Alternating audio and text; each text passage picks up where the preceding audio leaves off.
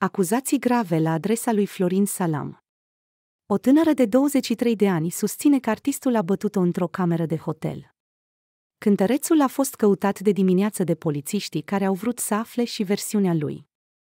Nu au dat de el, pentru că ar fi fost plecat din țară. În urmă cu puțin timp, s-a dus singur la secție.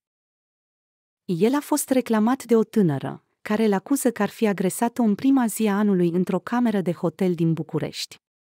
Artistul susține că acuzațiile nu sunt adevărate.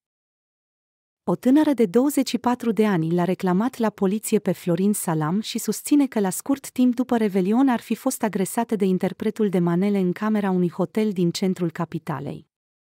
Tânăra susține că a fost lovită cu palmele. În acest moment, polițiștii verifică dacă interpretul de manele s-ar fi comportat nepermis de violent ori tânăra, iar fi atins portofelul cu bani, iar Florin Salam și-ar fi pierdut cumpătul. Situația lui Florin Salam este deocamdată incertă și depinde de vătămarea pe care i-ar fi provocat-o tinerei care îl acuză de agresiune.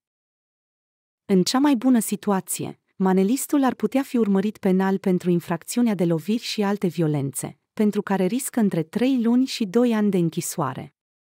Iar dacă tânăra poate dovedi cu acte medicale că a suferit răni care necesită cel mult 90 de zile de îngrijiri medicale, acuzația s-ar putea agrava, situație în care Salam ar risca între 6 luni și 5 ani de detenție.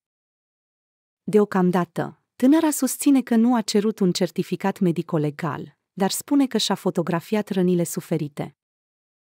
În caz de urgență, apelați numărul tel verde destinat victimelor violenței domestice. Numărul de tel verde este 08500333.